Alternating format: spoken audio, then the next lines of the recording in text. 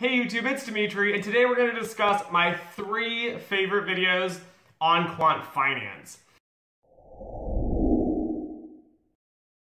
So this is going to be a short video. I hope you like it. Do watch the videos. They're actually amazing and have had large impacts on my life and why I became a quant. So the first video is Quants, the Alchemist on Wall Street. It is an amazing video. I discovered this video probably right around my senior year of my finance degree in undergrad. Um, I watched it, I liked it, I loved it. Every single thing in the movie I felt was like actual advice. And the best part of all three of these videos is that the people they interview are actual industry practitioners. Um, the Alchemist on Wall Street, though, a lot of these people are either retired uh, or they wanted to remain anonymous. So I actually like this because the reason is, is that what they're telling you is actual facts.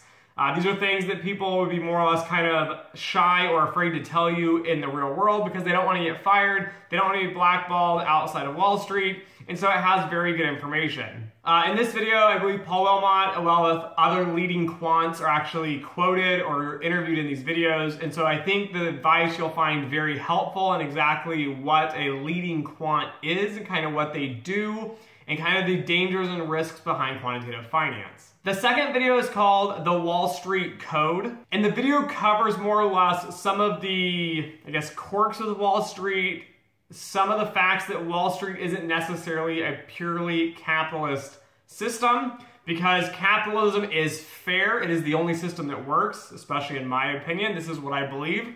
Um, but Wall Street in general, there are quirks and things that make it not capitalist. It's kind of a little bit of a twisted industry with some non-fair kind of pieces in it.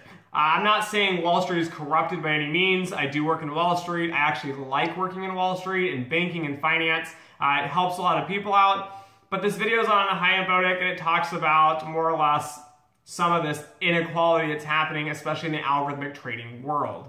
This video also touches on Thomas Peterffy, and he is the guy that invented Interactive Broker. I've mentioned him in another video but he's like mind-blowing amazing. So you think Steve Jobs is great because he created like an iPad? Uh, this guy already did it before all of them. They used it for trading. He didn't want to patent it. He doesn't believe in patents as he comes from Hungary. Anyways, the, the video is great. I can't, I can't explain it any other way. It's a great video. Definitely worth a watch. Again, all these videos are about an hour long, but they're well worth your time. You'll get watching it, and if you're really a quant and you find it exciting, you'll kind of get sucked into the video because it's so good. The third video is called Money and Speed Inside the Black Box.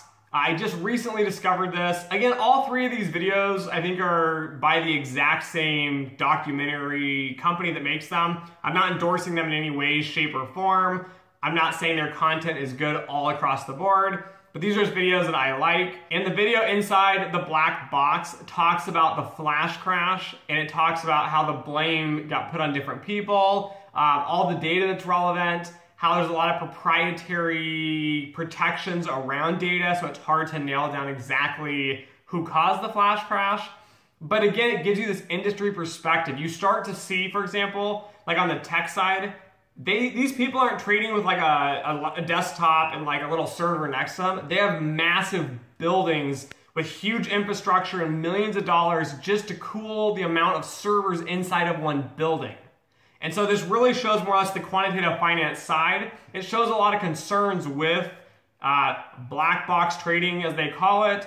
Uh, there are some valid points in here. There are also, I think, somewhat lenient on the fact that they lean towards the fact that Wall Street's kind of scary and unknown. But I do think that it touches on a lot of the notes about uh, some of the risks involved in these black boxes, and it leads kind of to my concern with algorithmic trading and the fact that we're using machine learning now. And it's not that machine learning is bad, it's that there are a lot of dumb people in the world that will apply machine learning without actually understanding what is happening behind the machine learning processes. But anyways, guys, these are my three favorite videos. Leave a comment below if you like these videos and you watch them or you have watched them in the past. Uh, let me know if there's any other videos that you like to watch on quantitative finance. Um, just in my opinion, as a kind of ending note here, I absolutely hate the Wall Street movies, like The Wolf on Wall Street, for example. because it kind of idolizes like this reckless behavior and how like there's just cronyism behind the scenes in every corner and like there's a few guys really winning and the rest of Wall Street screwing over America and the world. You know, oh, and the world's terrible and everyone in Wall Street or finance are just crooks. I just hate it. That's not really what Wall Street is like. And the people making these movies and documentaries, they're not actually on Wall Street. They're not the ones making it happen, especially today. Things might have been different in the past but it was not 100% corrupted in the past. It's not corrupted today. Yes, there are bad people in Wall Street, there's bad people in the health industry, there's bad people in politics. That's just kind of the takeaway in life. There's bad people everywhere. But in general, people in finance are trying to do the right thing. So I hope you guys like this video. If you do, give me a thumbs up or subscribe. And as always, thanks for watching.